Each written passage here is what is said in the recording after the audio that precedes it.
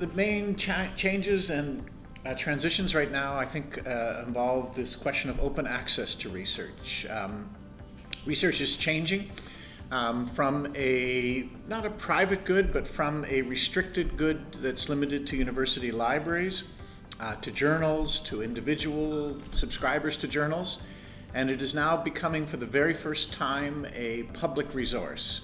Um, and uh, the possibilities of that are very exciting, but poses many challenges, as I hope we'll have a chance to discuss. Um, but let me emphasize that the, uh, the process right now is about, I like to think it's halfway in terms of the amount of literature that is freely or publicly available. Um, but it's available in such a different array of ways. Um, some of it is illegally available, unfortunately. Some of it is available only in a final draft. And some of it is open uh, and free and complete and published uh, and that's the exciting part, and where I think we're moving to a stage where that will become universal. Um, all of the research will be taken as uh, something that is publicly available.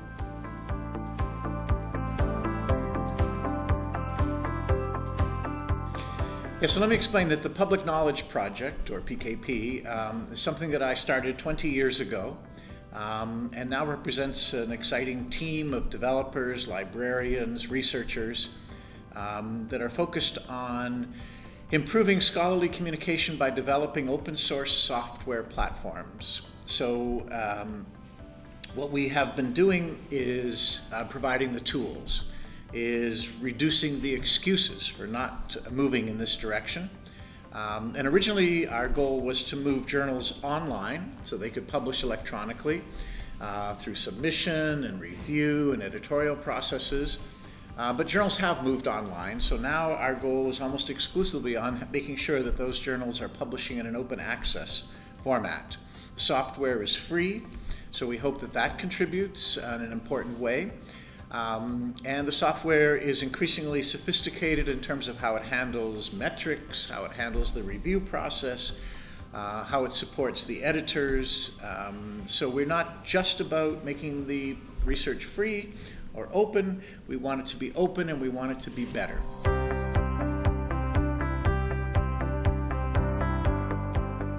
Um, well, it's not fair for me to judge. Um, I leave that to others um, to say.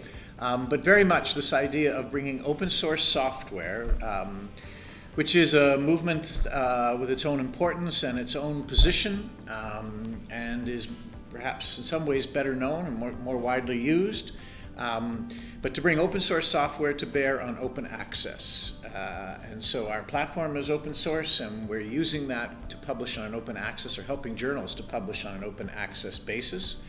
I would say that in terms of the success, we have over 10,000 journals around the world using uh, OJS, which arguably makes it one of the largest platforms of any kind, commercial or open. Um, and that might be partly because of our price. Free is always an advantage in the marketplace in terms of our making the software available.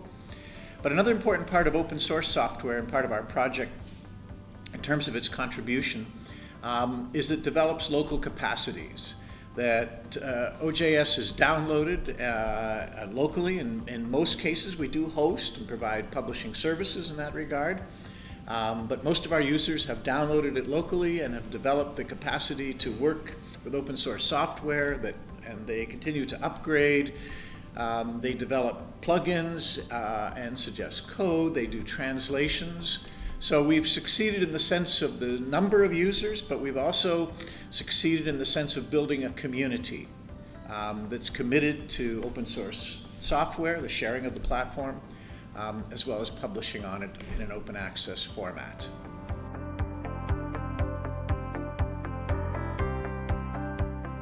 Um, it, it has wider implications, but I think we have to start with a very simple principle um, that it makes research public.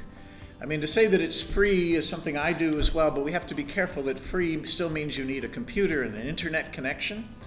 Um, free means that you have to go to the library or someplace where you can uh, get that internet and have the computers. Um, the larger implications uh, is on a global basis. So free means that it's globally available in a way that never happened with print. Um, and that global participation is possible, that people can submit articles from anywhere in the world um, as well as read them. So that global aspect is very important, that public aspect is very important. Um, I'm also very interested in things like public, uh, sorry, professional use of the material as well. So the role that public research will play am among doctors and lawyers, teachers, um, engineers, and other professionals is another important aspect to it. Fine would automatically drain it of any integrity and value and worth. Monopolies on school books, monopolies on all of Milton's work, monopolies of any kind or sort.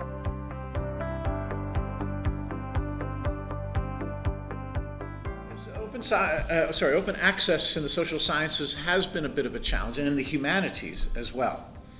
Um, and so that has been a, an interest of ours. The success of open uh, source, excuse me, open access, uh, soft, open access to research um, has been particularly strong in the biomedical field, where there's been more research money available. Um, and that's been largely funded by the article processing charge, the APC. Uh, and that level of research funding is not available in the social sciences or in the humanities. So that has act as a discouraging aspect of open access. So we've been working very hard with a great number of journals that are not using article processing charges. Um, but the reputation of article processing charges is such that we have trouble sometimes overcoming that. So we have uh, many places, many areas of the social sciences where volunteers, where there is no article processing charge, where departments or universities provide support, where things are done uh, on this basis of cooperation rather than commercial, on a commercial basis. And so it's um, been a challenge in a sense, and the social sciences and the humanities have not been as advanced or developed in terms of open access, um, but that's slowly beginning to change. And part of our work has been to develop economic models that will serve the social sciences and humanities.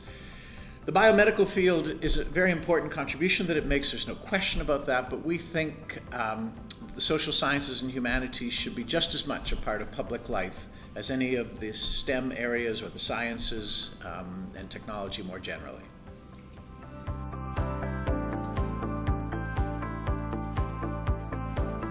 Uh, I'm somewhat simplistic and optimistic at the same time. I think all of the elements of sustainability are currently in place. That is, we are currently funding um, the publication of almost 3 million articles a year through subscriptions, through library support, through funding agencies, uh, and I think that's enough money.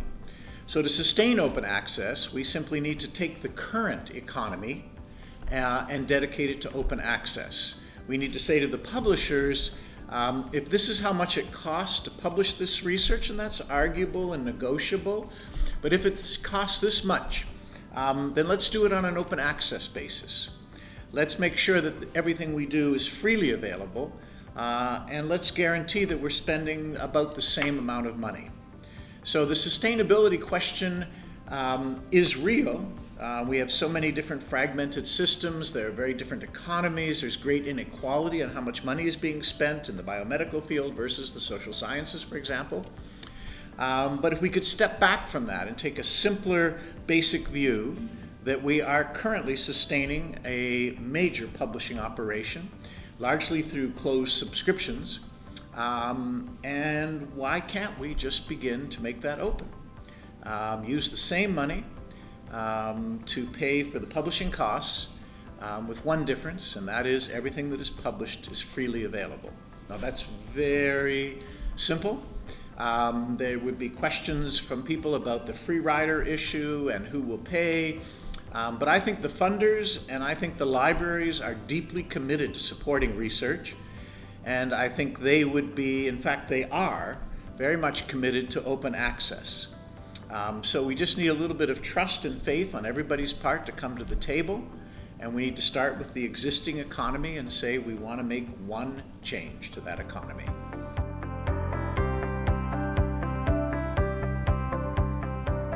Yeah, so, the, so one of the exciting things about this conference um, um, held here in, in Athens uh, has been its uh, discussion and description and encouragement of networks, international networks.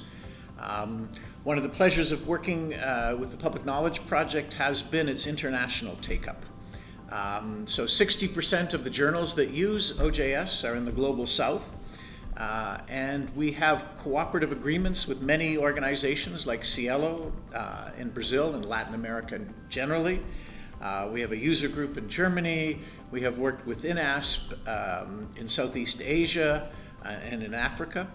So uh, the, the feeling is that we can um, work together and cooperatively on the basis of extending open access uh, and that we can recognize and appreciate and support local journals, uh, individual, or sorry, local and national societies, organizations, groups of libraries, uh, and in that way, um, we can see that one of the benefits of open access is it moves us away from single disciplines, it moves us away from uh, regions and nations, it moves us away from the hierarchy of the global north um, in terms of status and, and, leading journals into something that's not quite a level playing field yet um, by any means, um, but that is more accessible um, and equitable on that basis.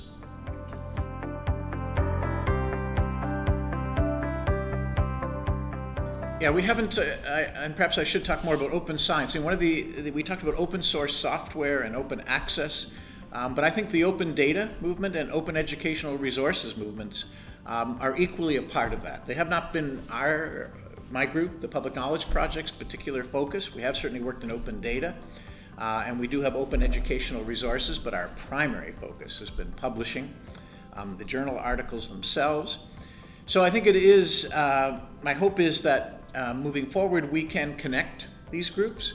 Um, we can do more to uh, create both an interoperable basis, that is the sharing of protocols and standards so that we can move more easily among them. Um, and at the same time, we can support each other in moving forward. So one of my hopes is that open access journal articles will become a central part of open educational resources, particularly in universities. Um, we already have this connection with open source software, um, but the, the, open data movement uh, needs to become a much more critical part of publishing, um, and that in some ways we want to see a, um, in fact, in a couple of ways, it's very important to think about open data as being a even bigger uh, contribution to the quality of science. So the idea that we can share data, that we can reanalyze data, that we can um, create, uh, get greater value from the data that we have collected and learn more about that from sharing the data um, is a really important aspect. So the quality of science um, is becoming more and more the focus of open science. So let's say that the big transition and the big challenge is that not only open but better, not only free but a higher quality. Uh, and I think the exciting part going forward is that every initiative um, that increases openness has to also be able to point to how it improves the quality of the scholarship, of the research, of the knowledge, of what's being shared.